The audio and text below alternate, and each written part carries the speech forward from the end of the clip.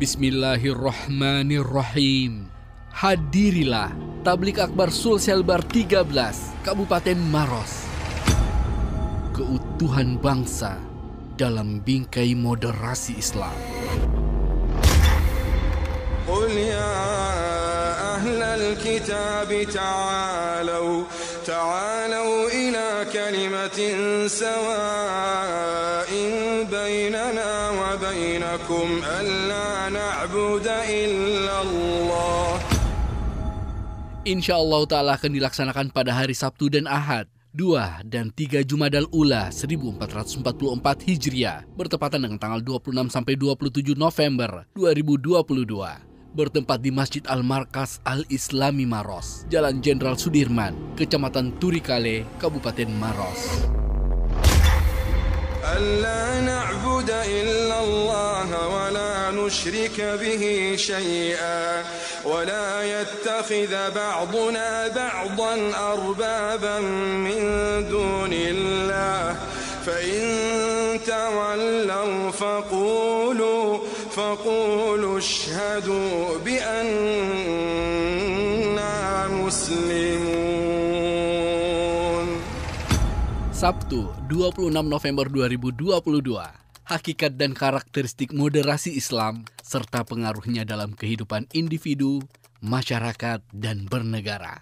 Bersama Ustadz Muhammad Naim LC. dari dengki, ambisi, marah, mengumbar syahwat dan juga cinta kepada harta, maka ini semuanya kalau kemudian diberi tempat dalam hati, nasallallahu salaman afiyah, Sendi-sendi keutuhan bangsa dan hubungannya dengan moderasi Islam. Bersama Ustadz Mustamin Musarudin LC. Karena hatilah pemimpin, hatilah raja, penguasa daripada anggota badan yang lainnya. Moderasi Islam dalam kehidupan Nabi Sallallahu Alaihi Wasallam. Bersama Ustadz Lukman Jamal LC. Karena kebenaran itu tidak akan kuat dipegang kalau tidak sabar.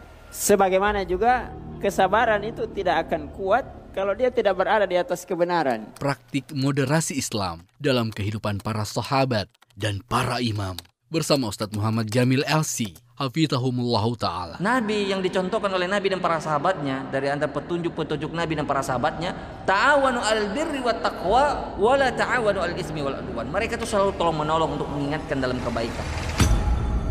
Ahad, 27 November 2022. Moderasi Islam dalam akidah Ahlus Sunnah wal Jamaah bersama Ustadz Nasr bin Abdul Karim LC. mengikuti Rasulullah sallallahu alaihi wasallam dalam seluruh perkara agama.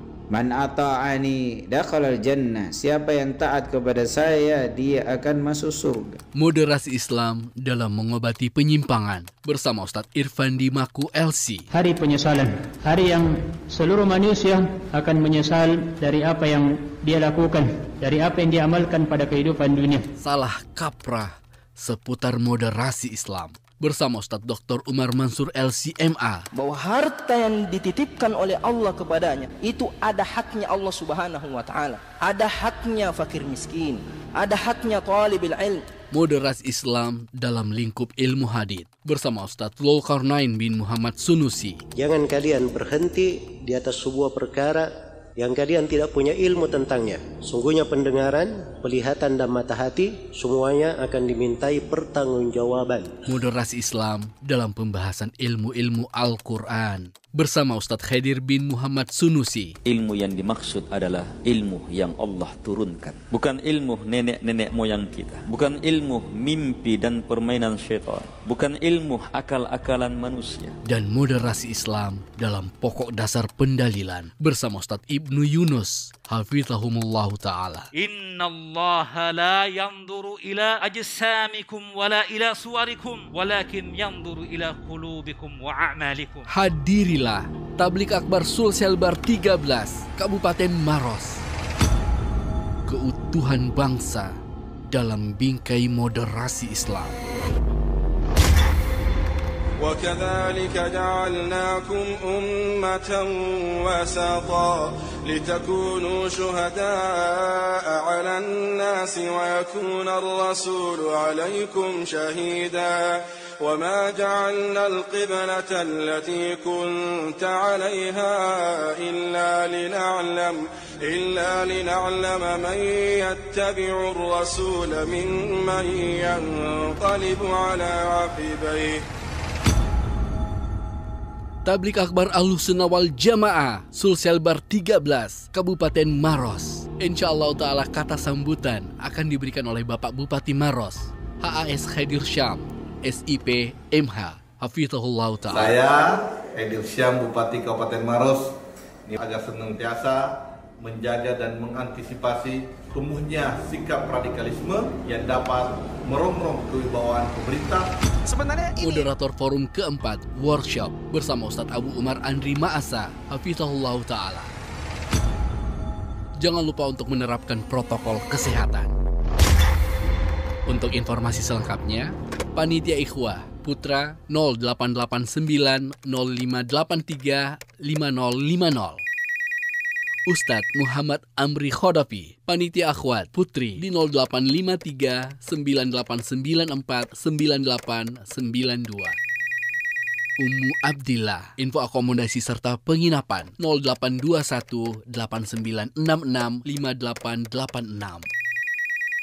Abu Al-Bukhari dan info lapak jualan 0822 9227 633 kali. Abu Fatih infak dan partisipasi bisa disalurkan ke rekening BSI 24466880007 atas nama Yayasan Al-Khulafaur Rashidin Maros. Konfirmasi setelah transfer 0813 5508 9268. Tablik Akbar Sulselbar 13, Kabupaten Maros. Keutuhan bangsa dalam bingkai moderasi Islam. Live di Radio An-Nasihah saluran 2 radio.andesnasihah.com slash live 2 juga bisa anda saksikan langsung di at markas dakwah BT at TV An-Nasihah at Sulkarnain MS dan at Hafayu TV didukung oleh Pesantren Al-Sunnah wal Jemaah Sulselbar, markas dakwah untuk bimbingan taklim dan keamanan berfikir, Madrasah Sunnah, peduli dakwah, Isalam, Hafayu TV, TV An-Nasiha, dan 88,2 FM An-Nasiha, Sakinah dengan Sunnah. Tablik Akbar Sulselbar 13, Kabupaten Maros. Keutuhan bangsa dalam bingkai moderasi Islam dengan bangga dipersembahkan oleh Forum Asatisa Sulselbar, Yayasan Al-Khulafaur Rashidin Maros, bekerja sama dengan pemerintah Kabupaten Maros dan takmir Masjid Al-Markas Al-Islami Maros. ولا تسبوا الذين يدعون من دون الله فيسبوا الله عدوا بغير علم Dan janganlah kamu memaki sembahan-sembahan yang mereka sembah selain Allah, karena mereka nanti akan memaki Allah dengan melampaui batas tanpa pengetahuan.